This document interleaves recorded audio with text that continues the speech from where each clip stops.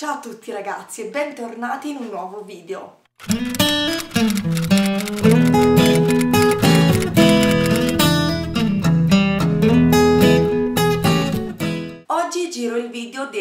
Letture del mese di maggio, il mese che si è appena concluso. In realtà purtroppo durante lo scorso, me lo scorso mese ho letto veramente poco, ehm, o meglio sono riuscita a mantenere il mio buon proposito ecco, di leggere un certo numero di libri, ma in realtà erano tutti molto brevi, quindi eh, insomma alla fine il numero delle pagine non è stato così tanto. Come lo scorso mese ho letto tre libri e un po', nel senso che eh, ho letto tre libri che adesso vi farò vedere e poi ho letto la seconda parte eh, del libro Via col vento per il GDL. Come ripeto adesso in ogni video in cui nomino Via col vento, ovviamente vi lascio sotto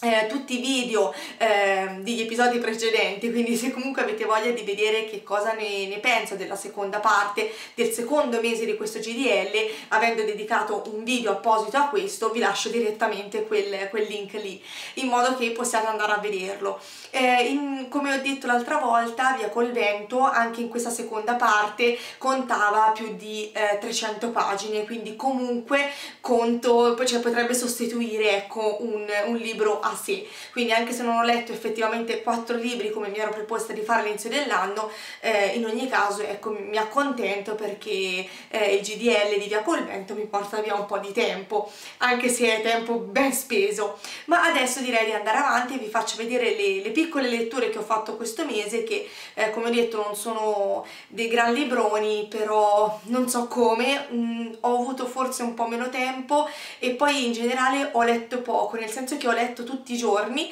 ma poche pagine. Quindi questo è il risultato. Comunque sono tre libri eh, dei quali ho piacere di parlarvi e che magari vi possono dare lo spunto per una nuova lettura Cominciamo! Il primo libro di cui vi parlo è Impara a essere felice di Paolo Crepé. Allora, questo libro l'abbiamo eh, letto per il club del libro perché il tema del, dello scorso mese, se vi ricordate, insomma, era appunto um, gli psicologi, quindi autori che avessero scritto dei libri che parlassero in qualche modo di psicologia o che comunque analizzassero in maniera dal punto di vista psicologico alcuni aspetti della vita. E io ho scelto di leggere Impara a essere felice. Paolo Crepé è uno psichiatra che la mia mamma adora, nel senso che ha letto altri suoi libri, lui ha dedicato molti libri al, mm, diciamo, all'educazione dei bambini e degli adulti, alla famiglia, ai rapporti che ci sono all'interno di una famiglia, insomma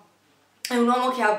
che ha, scritto tanto ecco, su questi argomenti, la mia mamma è interessata, quindi li ha letti, dato che ha trovato interessanti, eh, interessanti le sue opinioni, i suoi suggerimenti e soprattutto si è rivista in una linea educativa che anche lei appoggia, mi ha sempre consigliato di leggere questo autore e quindi finalmente è arrivato il suo momento. in realtà l'ho anche visto dal vivo al Salone del Libro di Torino qualche anno fa e eh, anche lì insomma il suo carisma e la sua passione per il lavoro, per il lavoro che svolge erano emerse in tutta la loro chiarezza. In questo libro Paolo Crepé eh, affronta il tema della felicità sotto tanti punti di vista, att mm, eh, attraverso dei brevi capitoli. Per farvi un esempio vi leggo alcuni titoli. La felicità regalata, felicità è sporcarsi, la felicità dell'outsider, felicità e autostima, felicità e desiderio, felicità e onnipotenza, la felicità delle donne, felicità ed estro e così via. Quindi analizza vari aspetti della nostra vita e come sfruttarli in modo da essere felici quindi eh, come ho detto i temi affrontati sono tantissimi dal come educare un bambino ad essere felice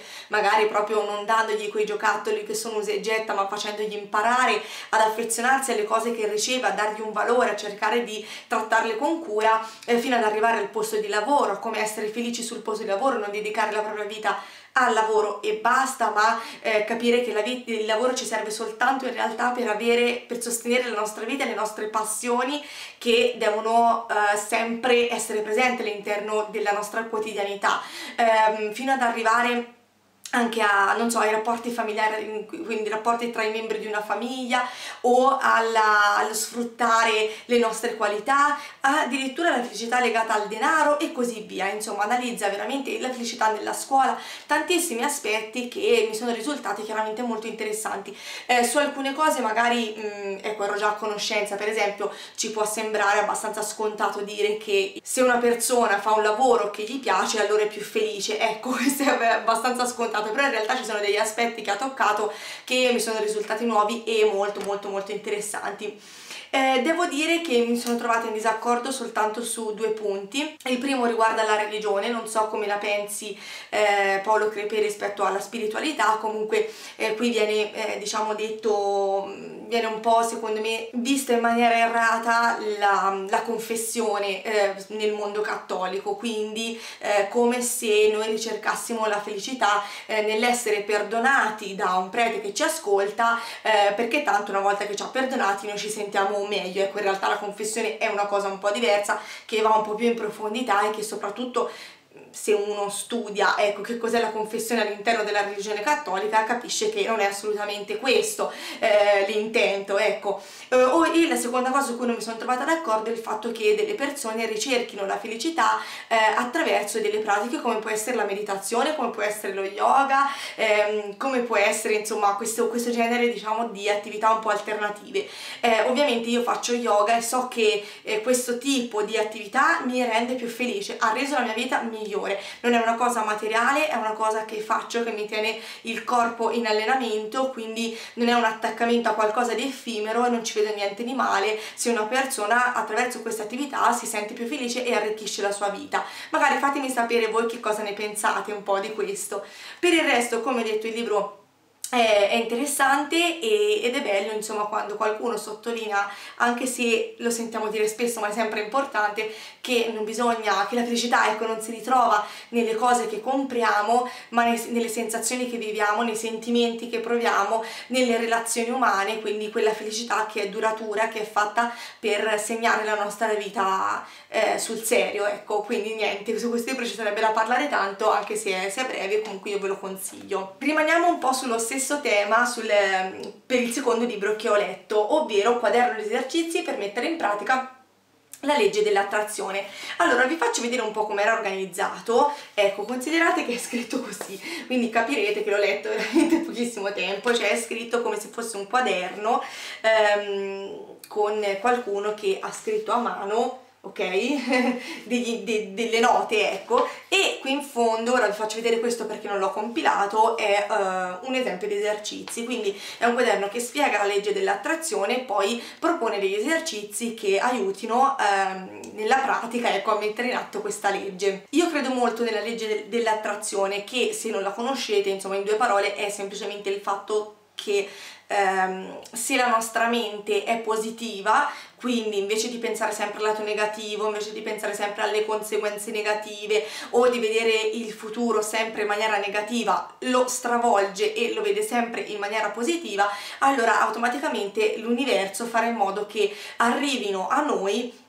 eh, le cose che vogliamo, quindi tutto sta nel modificare il nostro modo di pensare perché è proprio dalle idee che nascono le azioni e quasi senza accorgercene nel momento in cui cominciamo a pensare positivo, ad avere una, una visione bella di noi nel futuro, ehm, in, immaginarci con ciò che in realtà desideriamo, ecco che quelle cose automaticamente verranno a noi perché le nostre azioni eh, saranno appunto eh, create da queste idee e quindi saranno indirizzate ad ottenere quello che vogliamo. Um, io ci credo perché semplicemente anche se eh, a volte può sembrare che la vita non ci dia proprio, proprio quello che abbiamo sempre desiderato, in realtà avere un pensiero del genere aiuta la nostra vita comunque, quindi la, la rende molto più piacevole il fatto di riuscire a pensare in maniera più positiva, riuscire a vederci noi stessi nel presente e nel futuro in maniera più positiva o riuscire per esempio a superare i lati brutti del passato vedendo quali sono stati gli insegnamenti che questi eventi ci hanno dato.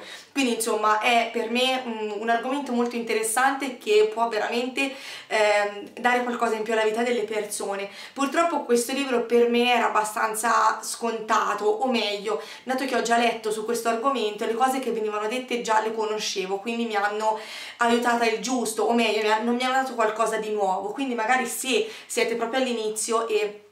non avete idea di cosa sia la legge dell'attrazione e volete informarvi, probabilmente questo è un libro adatto perché lo spiega in maniera molto semplice, molto chiara ma completa. E allo stesso tempo ci sono gli esercizi che vi aiutano un po' come il libro dell'ikigai, non so se ve lo ricordate, ecco più o meno la struttura è la stessa anche se il libro sull'ikigai è un po' più, ehm, un pochino più completo, un po' più corposo Comunque l'idea è la stessa e, e vi, vi, può sicuramente tornare utile. Infine l'ultimo libro letto nel mese di maggio, e anche qui capirete che in realtà non ho letto molto perché questo era piuttosto veloce da leggere, e sto parlando di eh, Distratto come me, quindi è una raccolta di, eh, di, varie storie, quindi a fumetti, su Pippo. Eh, anche questo ovviamente l'ho letto in dei giorni, ma mi ha fatto tantissimo piacere leggerlo. L'ho trovato nella libreria della mia mamma, in realtà è un regalo di una mia sorella all'altra mia sorella per un Natale, se vi ricordate aveva regalato un fumetto simile anche a me e, e quindi mi sono letta anche questo. Io ho riscoperto il personaggio di Pippo attraverso questo libro e sono mm, eh, veramente estasiata, cioè lo adoro, è sicuramente il mio personaggio preferito perché non c'è paragone con eh, Topolino, con Mimmi, eccetera, che sono così ligi, così ben educati, così onorevoli, ma in realtà è veramente eh, molto più divertente leggere le avventure di Pippo. Qui ci sono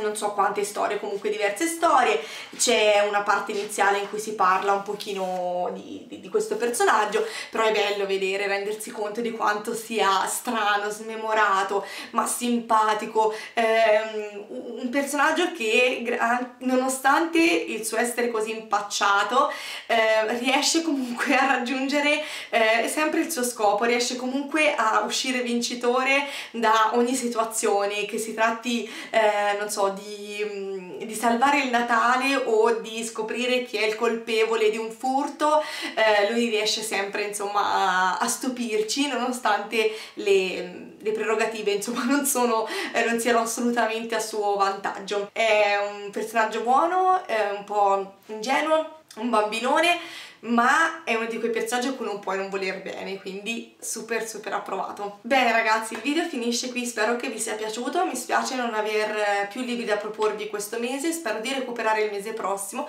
fatemi sapere se avete letto qualcuno di questi libri o se, quali sono i libri che avete letto voi durante il mese di maggio. E come sempre ci vediamo presto con un altro video, ciao!